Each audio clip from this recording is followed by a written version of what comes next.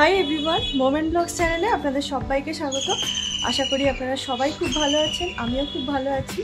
আজকে আমি যাচ্ছি আমার চুলের কেরাটিন ট্রিটমেন্ট করাতে। অ্যাকচুয়ালি চুলটা আমার ভীষণই মানে ডাল ফ্রিজি হয়ে গেছে। একদম এরকম এরকম খাড়া খাড়া হয়ে হয়ে থাকে মাথার উপরে দেখতে। মানে কোনো স্টাইল করা যায় না। প্রচুর হেয়ার ফল হয়েছিল। তারপরে যখন হেয়ার গ্রোথ হলো, তখন চুলগুলো একদম পুরো ম্যাগি ম্যাগি, পাকানো পাকানো মানে হেয়ার স্টাইল কিছুই করা যায় না ঠিকঠাক করে। যারা আমার মতোই আর কি ভয় ভয় থাকেন যে প্রচুর হেয়ার ফল হয়েছে বা হচ্ছে চুলের ট্রিটমেন্ট করালে যদি আরও ক্ষতি হয়ে যায়, তাদের জন্য বলব যে আমার ভিডিওটা দেখতে। আমি অনেক পড়াশোনা করে এই ট্রিটমেন্টটা করাতে যাচ্ছি, যেটাতে নাকি লং লাস্টিং চুলের সেইভাবে কোনো ক্ষতি হয় না বলেই জেনেছি। তো ফার্দার দেখব এবং আমার এই ট্রিটমেন্টটা হয়ে যাওয়ার পরে মোটামুটি দশ দিন পরে আমি আপনাদের আবার রিভিউটাও দেবো। যে আমি আমার এখন, আমার চুলটা কোন কন্ডিশনে আছে। তো চলুন, যাওয়া যাক, দেখা যাক কি হয় এই ট্রিটমেন্টটায় যদি আমার ভিডিওটা ভালো লাগে, আমার এই ইনফরমেশান আপনাদের কোনো কাজে আসে, তাহলে আমার ভিডিওটা লাইক করবেন শেয়ার করবেন সকলের সঙ্গে, আর আমার চ্যানেলটাকে সাবস্ক্রাইব করবেন। এটা হলো কেরাটিন ট্রিটমেন্ট করার আগে আমার চুলের কন্ডিশন তো এই ট্রিটমেন্টের প্রসিডিওরটা আমি আপনাদের পরপর পরপর বলতে থাকছি। পার্লারে যাওয়ার পরে ওরা চুলটাকে খুব ভালো করে ওয়াশ করল দুবার দুবার করে শ্যাম্পু করল কন্ডিশনার লাগিয়ে দশ মিনিট ছেড়ে দিল, তারপরে চুলটাকে ভালো করে ড্রায়ার দিয়ে ড্রাই করে নিল। এরপরে কেরাটিন ক্রিমটাকে অ্যাপ্লাই করবে, তো চুলের কতগুলো সেকশন ওরা ভাগ করে নিল, তারপরে পাতলা পাতলা চুলে সেকশন নিয়ে তার মধ্যে এই কেমিক্যাল ফ্রি কেরাটিন ক্রিমটাকে খুব ভালোভাবে অ্যাপ্লাই করে দিল। এটা ভীষণ একটা লেন্দি প্রসেস তো ধৈর্য ধরে বসে থাকতে হবে বেশ কিছুক্ষণ পার্লারে। ক্রিমটা অ্যাপ্লাই করার পর নেক্সট অ্যালুমিনিয়াম ফয়েল দিয়ে পুরো চুলটাকে র্যাপ করে দিল ফর্টি ফাইভ মিনিটস ওইভাবে রেখে দিল। তো এই ফর্টি ফাইভ মিনিটসও কিন্তু বসে থাকতে হবে পার্লারে। তারপরে চুলটাকে আনর্যাপ করল, তারপরে আবার একটু ড্রাই করে নিল চুলটাকে। তারপরে চুলটাকে আয়রনিং করতে শুরু করল ওই একইভাবে ছোটো ছোটো সেকশন নিয়ে চুলের, বেশ ten to twelve times repeat করে করে। আর এই প্রসেসটাও বেশ লেন্দি হলো। এই আয়রনিং প্রসেসটা যখন চলে, তখন এই কেরাটিন ক্রিমটাকে আয়রনিং করে চুলের মধ্যে খুব ভালোভাবে পেনিট্রেট করে দেওয়া হয়। ক্রিমটা শুকিয়ে যায় আর একটা ধোঁয়া মতো হয়। সেই ধোঁয়াটা কিন্তু ভীষণই সাংঘাতিক। চোখ টোক জ্বলে ঠলে একাকার। চোখ দিয়ে জল বেরোতে থাকে সমানে। তো এই সময় চোখ বন্ধ রাখাটাই বেটার এই দিনের প্রসেস কিন্তু কমপ্লিট হয়ে গেল। টোয়েন্টি ফোর আওয়ার্সের জন্য আমাকে ছেড়ে দিল। বাড়ি চলে এলাম। এই টোয়েন্টি ফোর আওয়ার্স চুলটাকে একটু কেয়ার নিতে হয়েছে, চুলটাকে ছেড়ে রাখতে হয়েছে, কানের পাশে গোজা যাবে না, বাঁধা যাবে না। স্ট্রেটনিং স্মুথনিং এসবের সময় যেরকম বলে দেয়, সেরকমই টোয়েন্টি ফোর আওয়ার্স একটু সাবধানে থাকতে হয় চুলটা যাতে কোনো রকম ডেন্ট না পড়ে।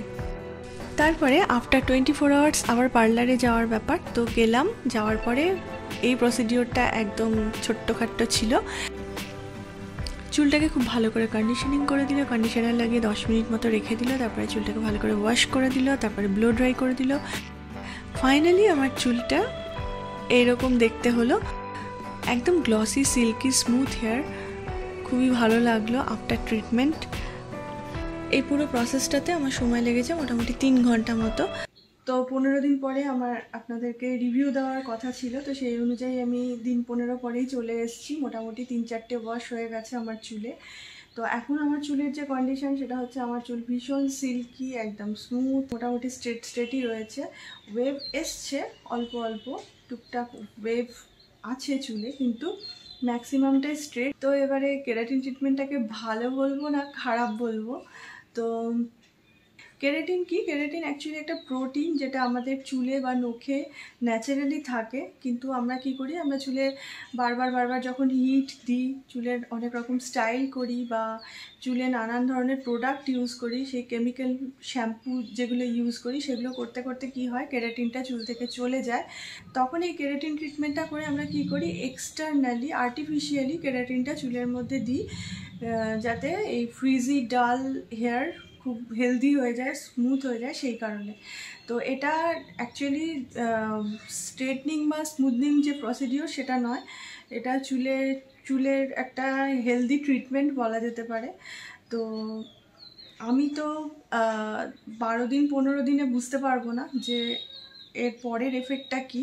আমাকে পার্লার থেকে যেটা বলেছে যে, এই এফেক্টটা থাকবে হচ্ছে ছ থেকে আট মাস বা অন্যভাবে বললে বত্রিশটা ওয়াশ থার্টি টুটা ওয়াশ অবধি এই চুলের এই এফেক্টটা এইভাবেই থেকে যাবে। মানে চুলটা এরকমই হেলদি থেকে যাবে।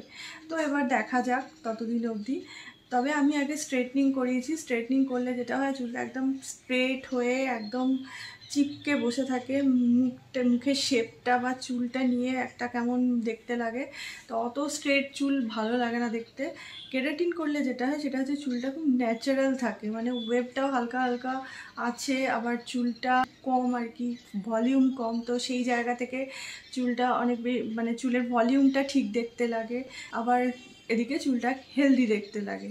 তো আগে যেটা হতো, বাইরে বেরোতে গেলে দশবার ভাবতাম যে কী হেয়ার স্টাইল করব, ওই ডাল ফ্রিজি হেয়ার আমার কী মানে কী কীরমভাবে চুলটা বাঁধবো? আমার যেটা মনে হয় সেটা হচ্ছে যে কোনো সাজগোজের শেষ কথা হচ্ছে হেয়ার স্টাইল মানে চুলের স্টাইলটা যদি ঠিক না হয়, ঠিক করে চুলটা বাঁধতে না পারি, ঠিক করে হেয়ার স্টাইল না হয়, মুখটা কিন্তু দেখতেও ভালো লাগে না। আর পুরো সাজটাই আমার যেন মনে হয় বেকার হয়ে যায়। তো সেই ক্ষেত্রে হেয়ার স্টাইলটার একটা বিরাট ব্যাপার আছে আমাদের সাজগোজের ক্ষেত্রে, যারা আমরা সাজগোজ করতে ভালোবাসি। তো আমাকে এখন বাইরে বেরোতে গেলে আর ভাবতে হয় না যে কী হেয়ার স্টাইল করব আফটার কেরাটিন ট্রিটমেন্ট এটা কতদিন থাকে এবার দেখা যাক। আমি আগে একবার স্ট্রেটনিং করিয়েছি। তো আমি যদি আমার কথা বলি, তাহলে আমি কেরাটিন ট্রিটমেন্ট করিয়ে ভীষণই স্যাটিসফাইড এবং ভবিষ্যতেও যদি প্রয়োজন পড়ে চুলের কোনো ট্রিটমেন্ট করানোর, তাহলে আমি এই ট্রিটমেন্টটাই করাবো। আর ট্রিটমেন্টের খরচ যেটা, সেটা তো আমি আগে মেনশান করিনি, আমি আবারও বলছি, এই ট্রিটমেন্টের খরচটা parlour to parlour product to product vary করে, সেজন্য আমার কত টাকা খরচ হয়েছে সেটার ওপর বেস করে কারোর কিছু না ভাবাই ভালো। যারা এই ট্রিটমেন্ট করাতে চান, তারা যে পার্লারে যান বা যে পার্লারটাকে আপনারা প্রেফার করবেন, সেখানে গিয়েই খরচটা জানবেন। কিন্তু আফটার ট্রিটমেন্ট একটা খরচ আছে, যেটা পার্লার থেকে বলে দিয়েছিল যে, যদি চুলটাকে এরকমই হেলদি স্মুথ শাইনি দেখতে চাই, তাহলে একটা ভালো কোনো কোম্পানির শ্যাম্পু আর কন্ডিশনার বা শ্যাম্পু আর মাস্ক কিন্তু ইউজ করে যেতে হবে, যতদিন এটা আমরা রাখতে চাইব আর কি। তো সেটা একটা খরচ বটে, সেই খরচটা কিন্তু আফটার ট্রিটমেন্ট আছে মানে ক্যারাটিন ট্রিটমেন্ট হয়ে গেল মানে খরচ শেষ হয়ে গেল না আফটার ট্রিটমেন্ট এই খরচটা আমাদের করতে হবে। তো তাছাড়া এমনি সবই ভালো। হেয়ার স্টাইলে সমস্যা যেটা ছিল সেটা গেছে। নিজের লুকটা চেঞ্জ হয়েছে, নিজেকে দেখতে ভালো লাগে, তো সেই জন্য আমি টোটালি স্যাটিসফাইড আমার এই ভিডিওটা যদি আপনাদের ভালো লাগে, তাহলে ভিডিওটা লাইক করবেন শেয়ার করবেন, আর আমার চ্যানেলটাকে সাবস্ক্রাইব করে দেবেন। দেখা হচ্ছে পরবর্তী ভিডিওতে। সবাই খুব ভালো থাকবেন।